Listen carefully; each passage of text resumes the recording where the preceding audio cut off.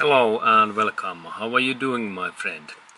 Today I'd like to show you that what is wrong if I start my car and then there is this engine this uh, engine engine error light is all time on and if we have situation that this light is all time on. Then we we have case that some of our engines part is broken. Because now especially when we are using these uh, Toyota Corollas what are these older models in in 1991 to 2000 and if there is issue that this engine light is all time on. That means that some of our engine parts is broken. And now I am so lucky that I remember that I replaced my MAP sensor what is this fuel injection sensor and let's go to look that area next.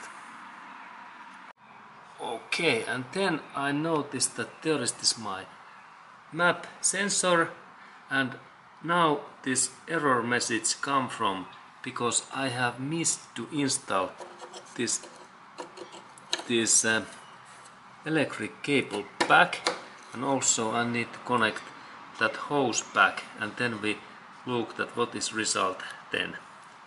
Okay and now I have connect also this hose in here and cable is okay.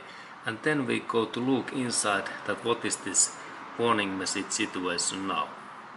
Okay, and now I remember that I repair that map sensor and now these cables are back and then we can check that what happens in this my my engine file light and now it means that this light is away and that means that in this Toyota Corolla model if we have this engine file light on, then we have really some of our engine parts totally broken.